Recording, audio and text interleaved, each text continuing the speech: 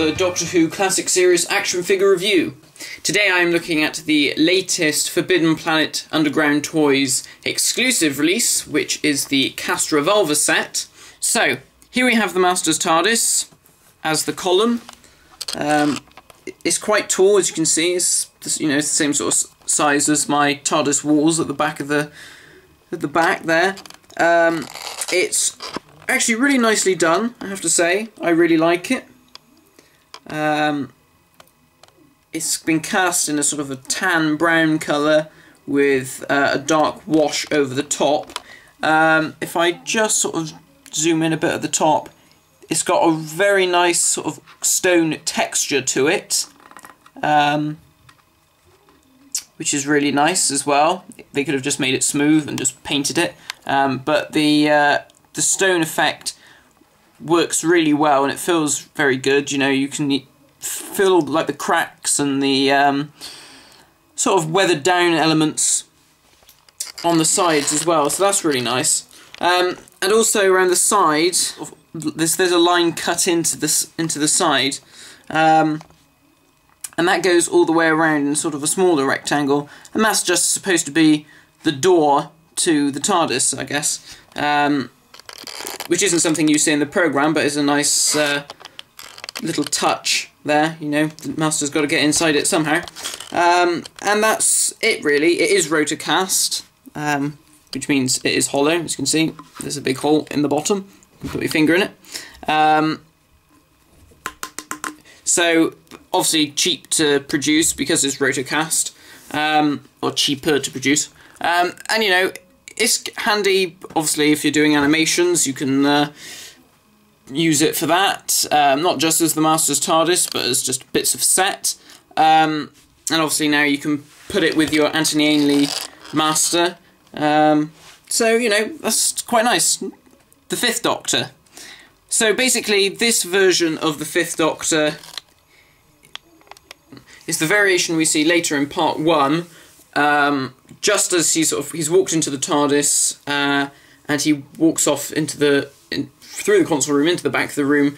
Uh, into the corridor, and uh, then you see him pulling the scarf apart, and that's basically what this represents. This is Peter pulling his scarf apart. Um, the scarf, however, is intact, is exactly the same as the one that came with the previous Regeneration Fifth Doctor and with the Season 18 Fourth Doctor.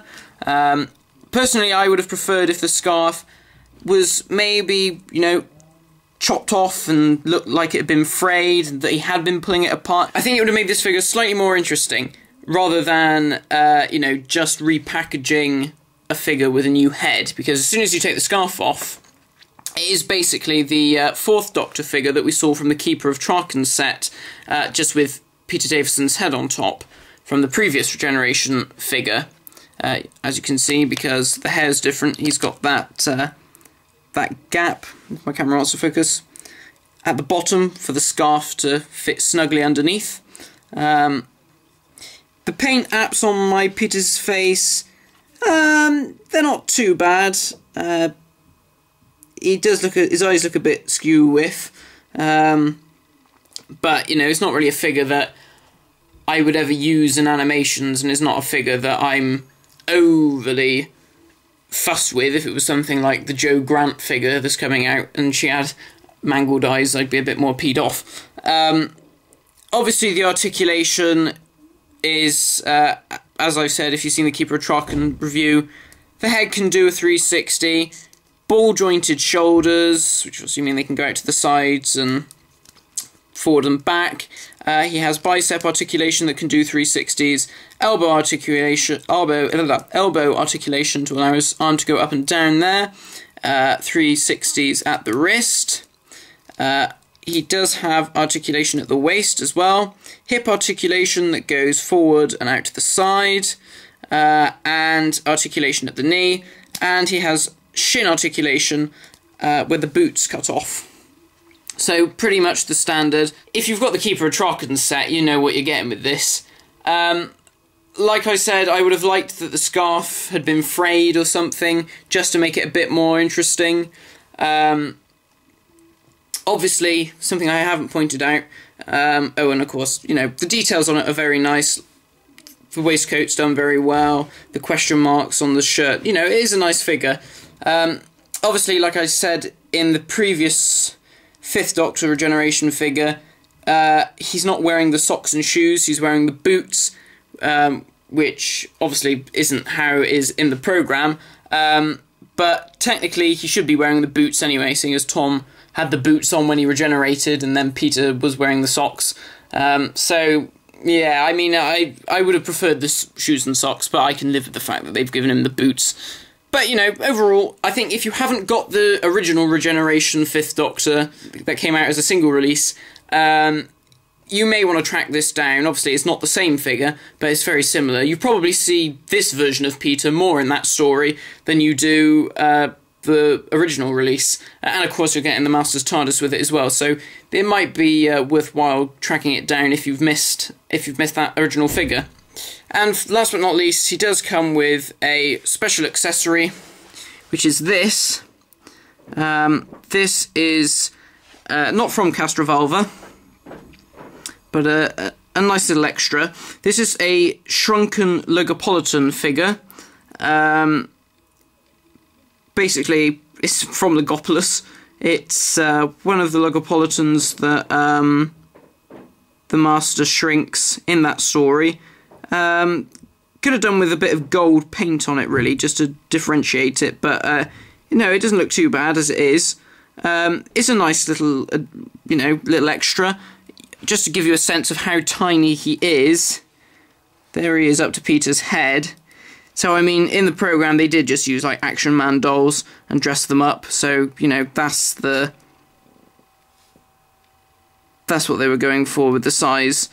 Um, yeah, no, I, I, quite like this. I think this is a nice little extra. Obviously, you can't really do much with it, but, you know, it's just. Uh,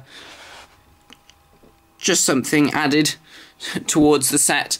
Um, so, overall, what do I really think about this set? Well, it's not as bad as I thought it was going to be. I remember when I first saw the pictures, I thought it was going to be, I thought it was crap.